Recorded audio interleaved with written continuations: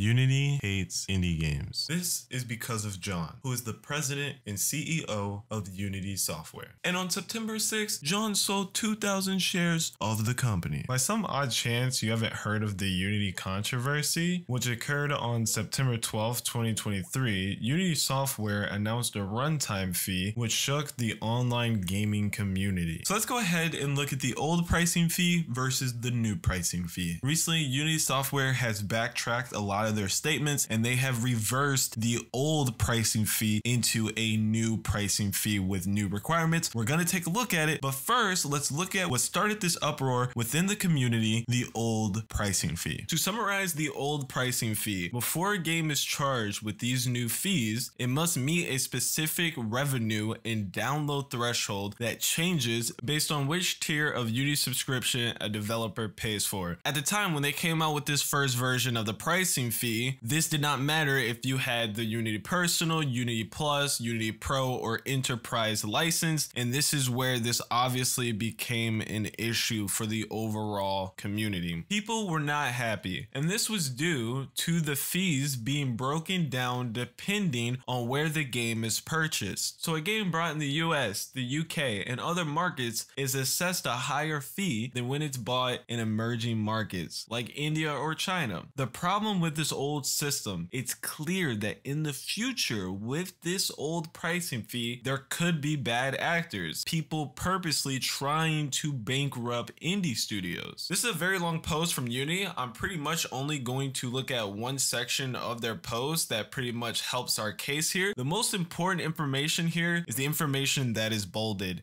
They pretty much did all the work for us. Who is impacted by this price increase? More than 90% of our customers will not be affected affected by this change. And this is obviously wrong. It's so wrong that they got hit with a community guideline. And this community guideline literally says that Unity states that only 10% of their customers will be affected, making it sound less bad than it is. As of the Gaming Report 2022, Unity had 230,000 developers. That's around 23,000 developers affected by this change. Lots of studios have posted statements about moving engines and just overall talking trash about this new announcement from Unity. Now let's go ahead and discuss the new pricing fee. As I previously stated, Unity has now backtracked their first announcement of this old pricing fee. So if you do meet all three requirements for this new pricing fee, you now have a choice. You have a choice to either take the 2.5 revenue share or the calculated amount based on the number of people engaging with your game each month. With the old fee, you didn't have a choice. And then also with this new pricing fee, you will always be billed the lesser amount. Now that we've talked about the old pricing fee and the new pricing fee, I'd like to ask a question to all of you gamers. What is the future of open source game engines? I feel like with the Unity controversy, with a lot that's been going on with engines in general, the fact that Unity already had problems when it merged with ironSource, a lot of developers and studios, that was a red flag to a lot of people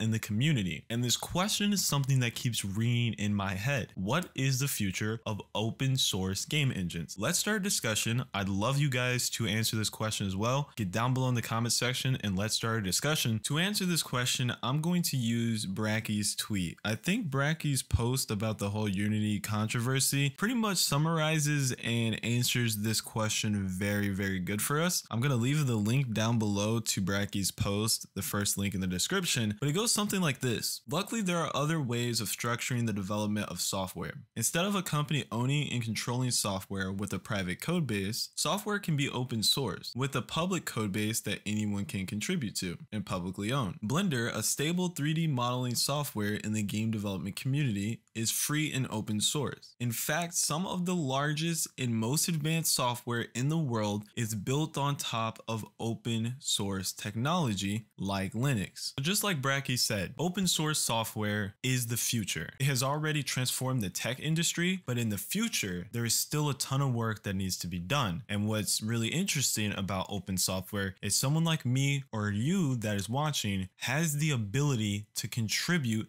to open source software. And that's it for today's video. I'll catch you gamers next time. Peace out.